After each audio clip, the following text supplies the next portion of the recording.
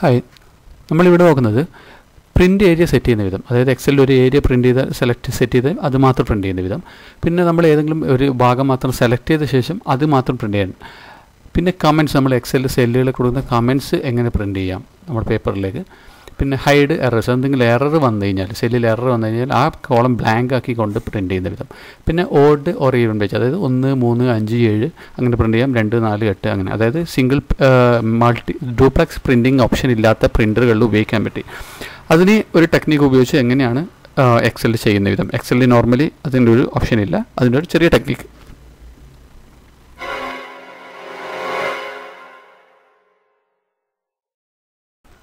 Hi നമ്മൾ ഇതിനു മുമ്പ് ഒരു പ്രിന്റിങ്ങിന്റെ പ്രിന്റിങ്ങിനെ കുറിച്ചുള്ള പാർട്ട് വൺ ഒരു വീഡിയോ ഉണ്ട്. അതിന്റെ തുടർച്ചയാണിത്. ഇതിൽ നമ്മൾക്ക് നമ്മൾ റെം കൺട്രോൾ എഫ് ടു പ്രിവ്യൂ അതിന് ഗ്രിഡ് ലൈൻസ് പ്രിന്റ് ചെയ്ത് ഗ്രിഡ് ലൈൻസ് ഇട്ട് കൊടുത്ത് പ്രിന്റിങ് ചെയ്യുന്ന മെത്തേഡാണ് നമ്മൾ ഇതിപ്പം ഫുള്ളായിട്ട് ഒരു സ്റ്റേറ്റ്മെന്റിലേക്ക് പ്രിന്റ് ചെയ്യുന്നു. നമ്മൾക്ക് സപ്പോസ് അതിന് ഫസ്റ്റ് പത്ത് വരികൾ മാത്രമേ വേണ്ടൂ. അതായത് സെലക്റ്റഡ് പ്രിന്റ് മാത്രം. അതിന് ജസ്റ്റ് കൺട്രോൾ സെലക്ട് സെലക്ട് ചെയ്യുക കൺട്രോൾ പി അടിക്കുക ഇവിടെ സെലക്ഷൻ ഉണ്ട്. സെലക്ഷൻ പ്രിവ്യൂ അടിക്കുക അത്ര മാത്രം പ്രിന്റിങ് മാത്രം. ഇനി അത് പെർമനന്റ് ആയിട്ട് സെറ്റ് ചെയ്യണം. നമുക്ക് പ്രിന്റ് ഏരിയ പെർമനന്റ് ആയിട്ട് സെറ്റ് ചെയ്യണം. ഒരു പതിനഞ്ച് ലൈൻ വരെയുള്ള പതിനഞ്ച് വരെയുള്ള പതിനഞ്ച് വരെയുള്ള സെറ്റ് ചെയ്യണമെങ്കിൽ പേജിൽ എവിടെ പോവുക print area set print area select ചെയ്ത ശേഷം സെറ്റ് പ്രിന്റ് ഏരിയ ഇനിയിപ്പം എങ്ങനെ പ്രിന്റ് ചെയ്താലും പ്രിന്റ് കൊടുത്താലും നമ്മൾ പ്രിവ്യൂവിൽ എത്രമാത്രം പതിനഞ്ച് മാത്രമേ കാണുള്ളൂ. സെലക്ഷൻ അല്ല. അതിന് പുറമെ നമുക്ക് വേണമെങ്കിൽ സെലക്ട് ചെയ്യാം. ഒരു അഞ്ച് ലൈനുള്ളത് മൊത്തം സെലക്ട് ചെയ്തിട്ട് നമ്മൾക്കിപ്പോൾ ആക്റ്റീവ് എന്ന് പറയുമ്പോൾ പതിനഞ്ച് കാണും. അതേസമയം സെലക്ഷൻ എന്ന് പറഞ്ഞു കഴിഞ്ഞാൽ ആ അത്രയും ഭാഗം മാത്രം അഞ്ച് മാത്രം. ഏരിയ പ്രിന്റ് സെറ്റ് ഏരിയ ചെയ്ത് ക്ലിയർ ചെയ്യാം. ക്ലിയർ പ്രിന്റ് ഏരിയ നമുക്ക് കൺട്രോൾ എഫ് ടു അടിച്ച് നോക്കാം. ഇപ്പം മുഴുവനായിട്ടുണ്ട്. നമ്മൾ ഏതെങ്കിലും ഒരു ലൈനിൽ ഏതെങ്കിലും ഒരു ലൈനിൽ നമുക്കിപ്പം അഞ്ചാമത്തെ ലൈനിൽ നമ്മളൊരു ചെറിയൊരു കളർ ഇടാണ്. നമുക്ക് മനസ്സിലാകാൻ വേണ്ടിയിട്ട് ഒരു കളർ ഇടാണ്. ഇതിനിവിടെ നമ്മളൊരു കമന്റ് ഇടാണ്. ഇൻസേർട്ട് കമന്റ്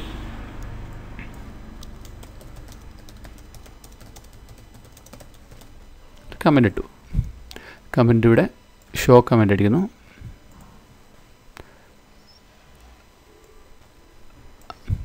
ഇങ്ങനെ എടുക്കാം ഇനി നമ്മൾ പ്രിന്റ് ചെയ്യാണ്. പക്ഷേ പ്രിന്റ് പ്രിവ്യൂവിൽ എവിടെയും നമുക്ക് കമന്റ് കാണാൻ പറ്റില്ല. അപ്പോൾ പേജ് സെറ്റപ്പിലേക്ക് വരിക. ഇവിടെ അത് പ്രിന്റ് പ്രിവ്യൂവിൽ വെച്ചുകൊണ്ട് ഇത് ഡിസേബിൾ ആണ്. ക്യാൻസൽ ചെയ്യുക.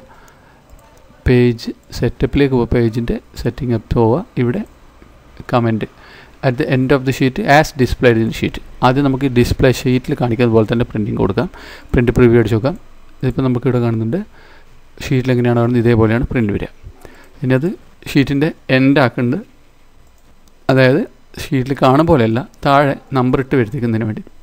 At the end of the sheet ഇതിൽ പ്രിവ്യൂ എടുത്ത് നോക്കാം. ഇവിടെ എവിടെയും കമന്റ് ഇല്ല. പക്ഷേ അതേസമയം താഴത്ത് നെക്സ്റ്റ് പേജിൽ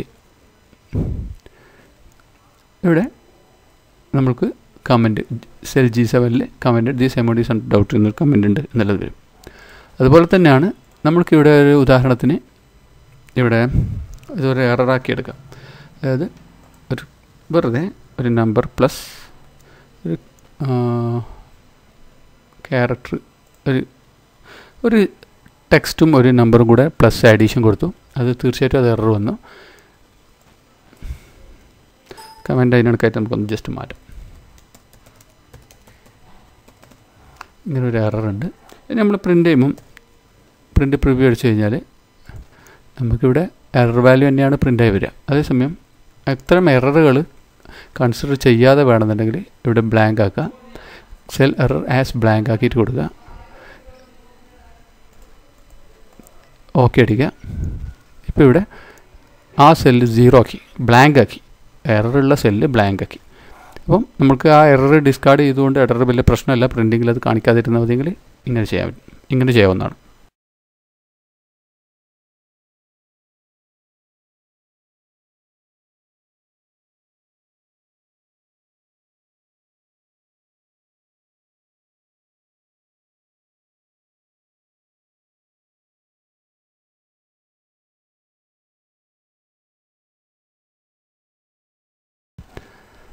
ഇപ്പം മൂന്ന് പേജ് എത്തിയിട്ടുണ്ട്. ഒന്ന് രണ്ട് മൂന്ന്.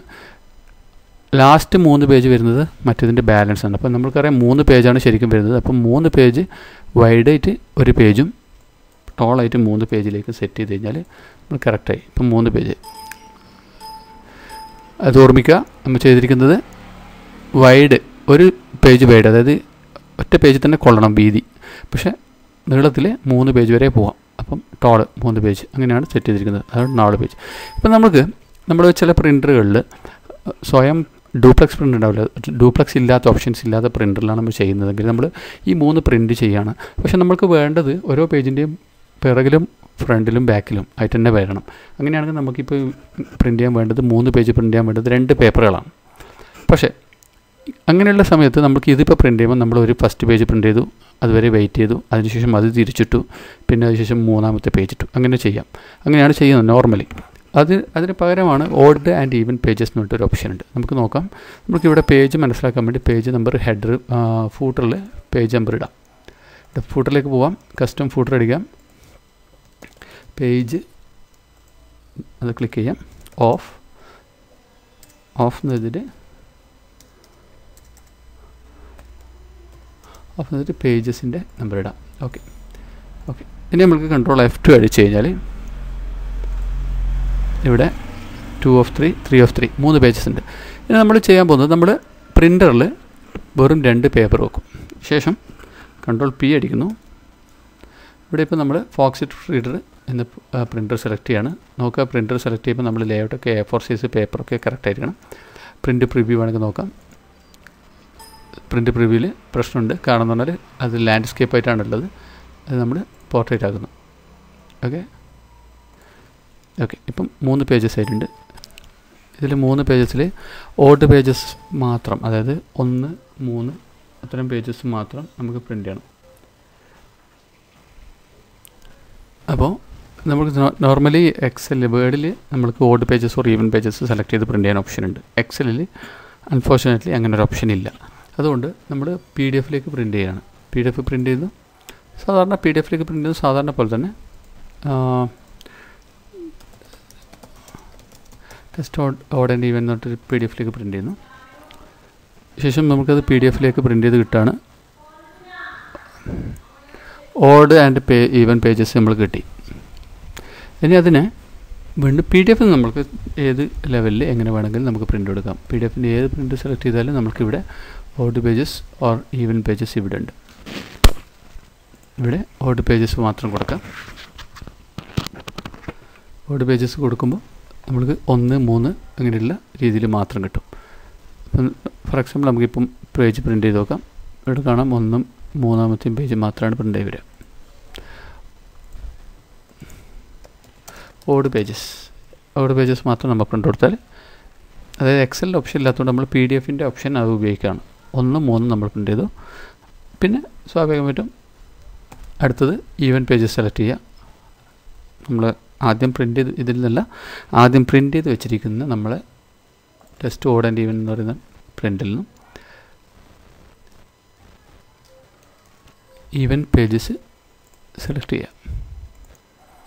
ഈവൻ പേജസ് സെലക്ട് ചെയ്യുക പ്രിന്റ് ചെയ്യുക. ആകെ ഒരു ഒറ്റൊന്ന് മാത്രമേ ഉള്ളൂ. കാരണം ഒന്ന് രണ്ട് മൂന്ന് രണ്ട് മാത്രമേ ഈവൻ ആയിട്ടുള്ളൂ. അതുകൊണ്ടാണ് അങ്ങനെ കിട്ടുന്നത് അങ്ങനെ പ്രിന്റ് ചെയ്യുക. എക്സലിലെ ആ ഒരു over difficulty is even pages printing ഇല്ലാത്തതുകൊണ്ട് അതിനെ ഓവർടേക്ക് ചെയ്യാനുള്ള ഒരു പരിപാടി ഇങ്ങനെയാണ്. അതല്ലെങ്കിൽ വിഷ്വൽ ബേസിക് സ്ക്രിപ്റ്റ് ഉപയോഗിച്ചിട്ട് ചെയ്യാം. അത് മറ്റൊരു വീഡിയോയിൽ വിശദീകരിക്കുന്നതാണ്. വീഡിയോ ഇഷ്ടപ്പെട്ടിട്ടുണ്ടെങ്കിൽ ലൈക്ക് ചെയ്യുക സബ്സ്ക്രൈബ് ചെയ്യുക ഷെയർ ചെയ്യുക. താങ്ക്